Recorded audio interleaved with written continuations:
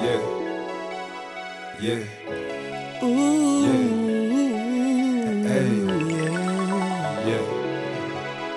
Yeah. There's just something Listen. about it. I promise she's the finest thing I ever seen. Angel without the set of wings. Smile, love, her goddess. Body belongs in King's magazine. Wouldn't imagine her my wildest dream. Gotta get her on my team. But I can't help to keep pondering how she fit all that Tell the way she walked that her swag is mean. Catch her doing her daily routine.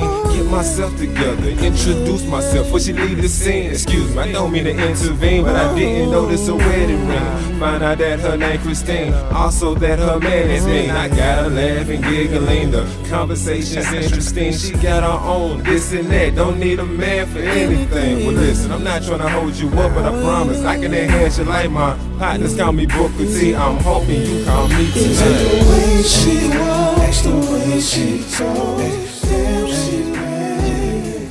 Just something about it.